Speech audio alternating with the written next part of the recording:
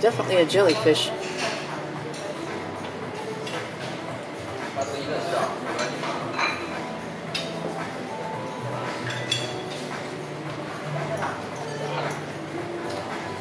Very dirty looking. It looks like mud. Mm. Looks like mud.